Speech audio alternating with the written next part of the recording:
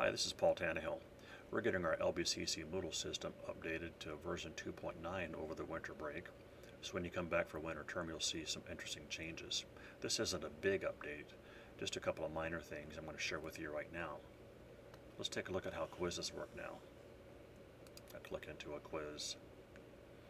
And if I click in the administration block under quiz administration, go down to edit quiz, and you'll see how you can shuffle questions within a quiz. If you're looking for how to shuffle answers within a quiz question, go back to the administration block, again under quiz administration, down to edit settings.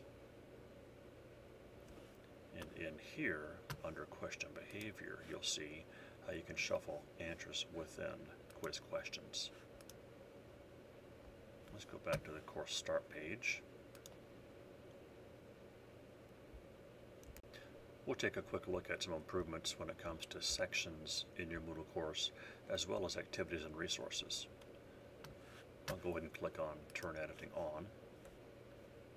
Now if you run your Moodle course or courses in weekly format, you might explore topics format. Now this feature's been available for a few months now, where you can highlight a section in your course simply by clicking the eyeball and again, this is only available when you are working in topics format in your course shell. And again, you can change the format of your course shell in the course settings area.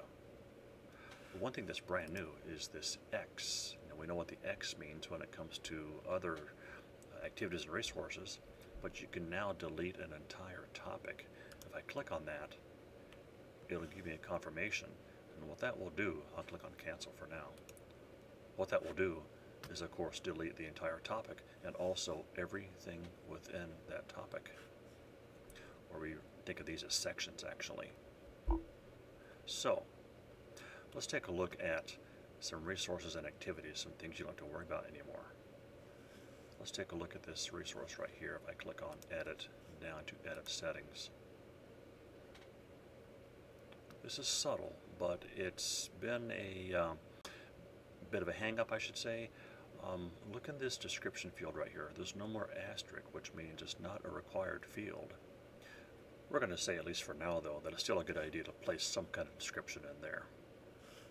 Let's go down to the page content field. And you'll see this, this is called the Atto toolbar. This is your, your typical Moodle text input box.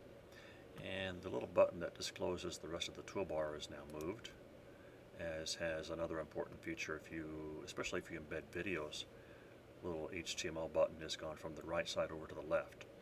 Just some minor shifts here. Uh, nothing's missing, we don't think, uh, just different locations for some reason. Back on my course start page, so I can go into a page that has some images in it. This happens to be a Moodle page as a tutorial on how to build Moodle pages. You'll see some of these, well, all of these screenshots are outdated though can go into the settings area and we'll get back to that familiar text input box. Notice as I select images, let's pretend I'm going to replace some images in here. Notice something's missing in previous uh, from previous versions. There's no more control handles on any of the images. So how do you resize them? I found you can double click an image and you can resize it in here. Also, back again to this toolbar up here, I meant to mention earlier that you might notice that there's not quite the granularity when it comes to font size control.